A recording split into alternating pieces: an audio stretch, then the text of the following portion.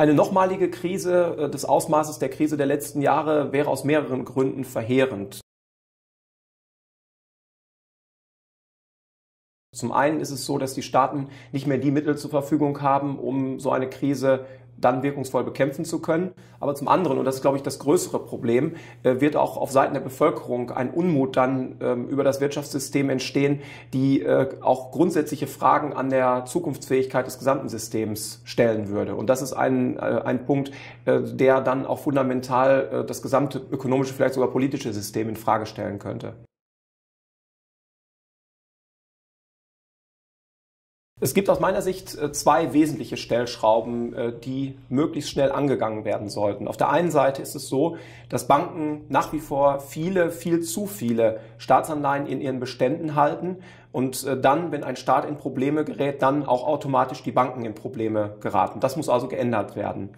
Der zweite Punkt ist, dass Banken noch viel zu häufig nicht äh, insolvent gehen können, weil man Angst hat, äh, dass sie ansonsten ein systemisches Risiko hervorbringen und damit natürlich Risiken für den Steuerzahler entstehen. Also man muss hier eine sehr schnelle, effiziente Gläubigerbeteiligung hinbekommen, um zu verhindern, dass Risiken weiterhin aus dem privaten in den öffentlichen Sektor transferiert werden.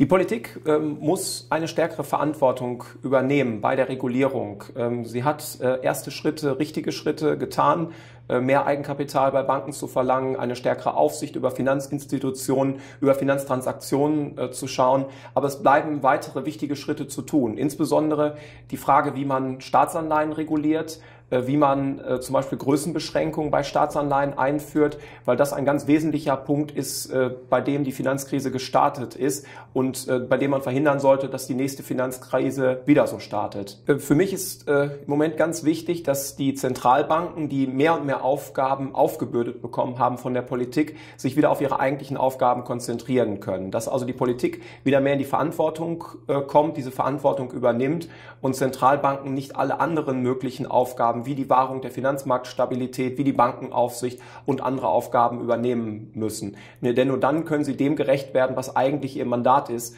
nämlich die Preisstabilität zu wahren. Äh, man sieht das äh, weltweit, dass äh, die Karriere sagen wir mal, in einem Investmentbankbereich nicht mehr ähm, so selbstverständlich ist und auch nicht mehr so unkritisch gesehen wird wie vielleicht vor einigen Jahren.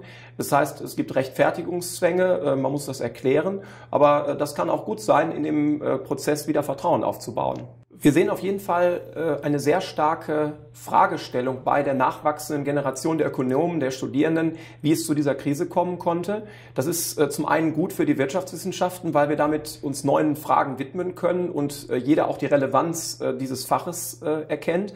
Andererseits heißt es aber auch, dass wir neue Aspekte mit berücksichtigen müssen. Insbesondere der Aspekt der Interaktion der Wirtschaft, äh, auch der Wirtschaftswissenschaften mit der Politik, äh, der Frage der Regulierung, äh, inwiefern Staat und Markt nebeneinander bestehen, sind alles Themen, die heute stärker eine Rolle spielen als in der Vergangenheit, als vielleicht die Sicht auf ein Unternehmen und vielleicht auch zu beschränkt auf ein Unternehmen dominiert haben.